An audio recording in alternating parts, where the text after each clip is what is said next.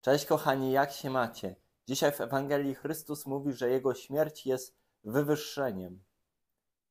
A świat, świat mówi, że to jest y, zmarnowane życie, zakończyć je na krzyżu. A Chrystus mówi, że to wywyższenie. On ma zupełnie, in, zupełnie inne myślenie niż świat. Jakie chcesz mieć myślenie? Światowe czy Chrystusowe? Niech Was błogosławi Bóg Wszechmogący, Ojciec i Syn i Duch Święty. Cześć kochani, dobrego dnia z Bogiem.